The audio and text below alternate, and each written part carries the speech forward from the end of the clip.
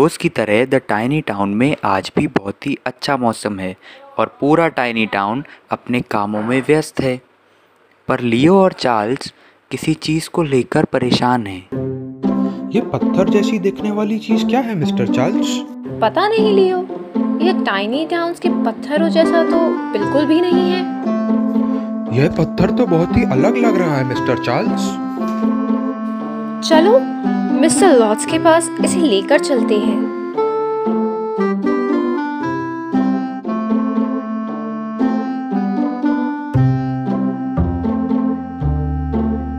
Hello लियो और Charles तुम लोग कैसे हो? और ये पत्थर कैसा है? काफ़ी अलग लग रहा है। मिस्टर लॉर्ड्स हमें ये पत्थर लियो के घर के बाहर पड़ा मिला। हाँ सुबह जब मैं बाहर बैठकर न्यूज़पेपर पढ़ रहा था, तब मेरी नज़र इस पत्थर पर पड़ी।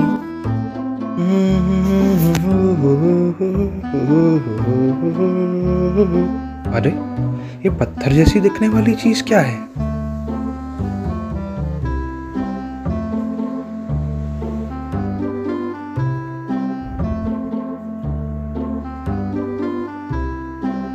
ये पत्थर मुझे चार्ल्स के पास ले जाना चाहिए। देख के वो भी हैरान हो जाएगा। ये पत्थर तो मैं पहली बार देख रहा हूँ। ऐसा पत्थर तो मैंने पहले कभी नहीं देखा। के बारे में हम किससे पूछें मिस्टर लॉर्ड्स? एक इंसान है जो हमें इस पत्थर के बारे में बता सकता है। कौन? वह इंसान है साइंटिस्ट आर्मन। तो फिर चलिए उनके पास चलते हैं।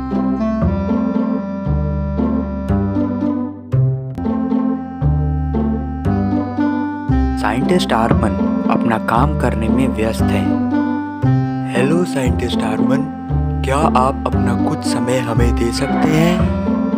क्या हुआ mister Lords Leo mister Charles? आप कुछ परेशान दिख रहे हैं?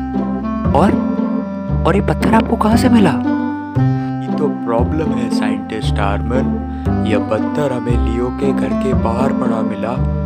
और यह पत्थर तो टाइनी टाउन के पत्थरों से काफ़ी अलग है। आपने बिल्कुल सही कहा मिस्टर लॉर्ड्स यह पत्थर टाइनी टाउन का नहीं है। टाइनी टाउन का नहीं है? तो फिर कहाँ का है? हाँ और टाइनी टून में कहाँ से आया? ये पत्थर चाँद से आया है। क्या? चाँद से। हाँ और अगर ये पत्थर ज़्यादा समय धरती पर रहा तो ये धरती को नुकसान पहुँचा सकता है। तो क्या हमें इसे लेकर चाँद पर जाना है साइंटिस्ट आर्बन हाँ बिल्कुल। मेरे पास एक स्पेसशिप तैयार है। क्या आप सच कह रहे हैं साइंटिस्ट आर्मन? बिल्कुल लियो। आप सब कल तैयार रहना हम सब कल चाँद पर जाएँगे और ये पत्थर वहीं छोड़ाएँगे। पर इसमें हमें कोई खतरा तो नहीं होगा? बिल्कुल नहीं चार्ल्स। तुम डरो मत और इसके बारे में किसी से कहना मत ठीक है? ठीक है साइंटिस्ट आर्मन हम तैयार रहेंगे। अभी हम चलते हैं।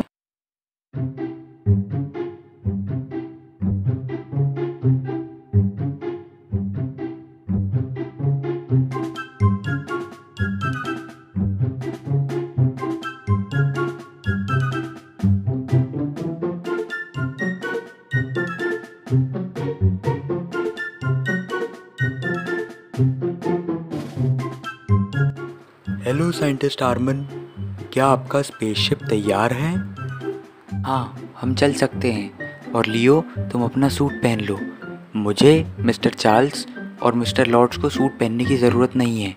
चलिए, अब हम चलते हैं।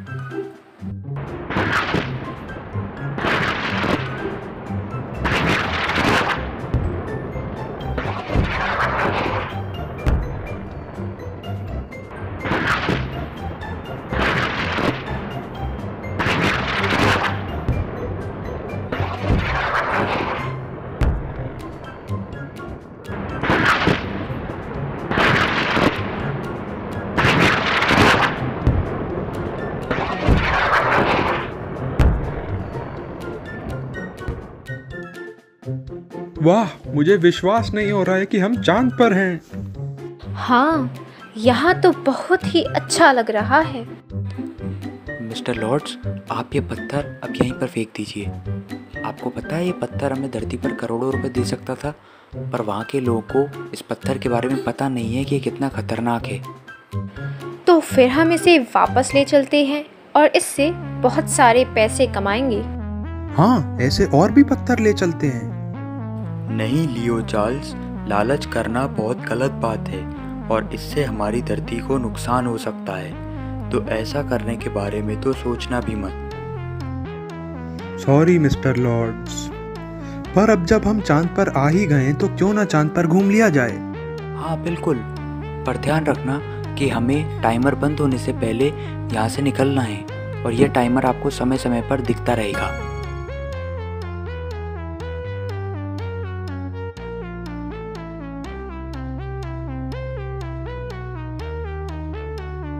अरे ये क्या?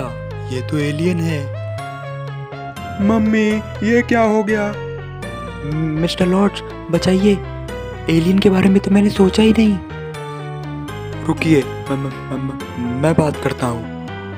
क्या आप यहीं के रहवासी हैं? हाँ मैं यहीं का रहने वाला हूँ। और तुम लोग यहाँ पर क्यों आए हो? हम तो यहाँ पर चाँद का एक पत्थर वापस रखने आए थे। हम वापस चले जाएँगे। अरे घबराओ मत। मैं कुछ नहीं करूँगा। आप यहाँ पर घूम सकते हैं। और मैं आपको बता दूँ कि मैं आपसे ट्रांसलेशन डिवाइस की मदद से बात कर रहा हूँ। तो और कुछ मत सोचना कि मुझे आपकी भाषा कैसे आती है। ठीक है फिर। घूम ही लेते हैं।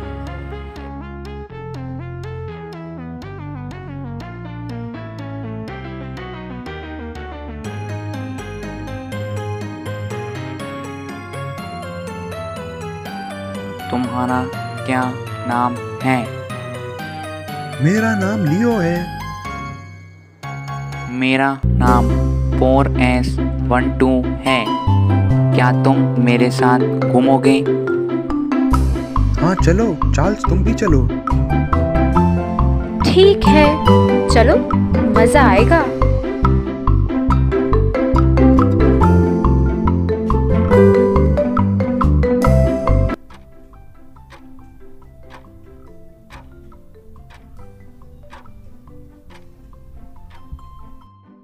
अरे लियो और चार्ल्स कहाँ हैं? वो वापस नहीं आए? हम अंदर उनका इंतज़ार करते हैं। चलिए मिस्टर लॉर्ड्स समय कम है। मिस्टर लॉर्ड्स लियो और चार्ल्स कहाँ रह गए? अगर वो समय से नहीं आए तो वो यहीं रह जाएँगे। रुक जाइए वो लोग आ जाएँगे। लियो अब हमें चलना चाहिए। वरना टाइमर बंद हुआ तो हम वापस नहीं जा पाएँगे। देखो हमारा स्पेसशिप टाइम सिर्फ़ पंद्रह सेकंड दिखा रहा है जल्दी चलो।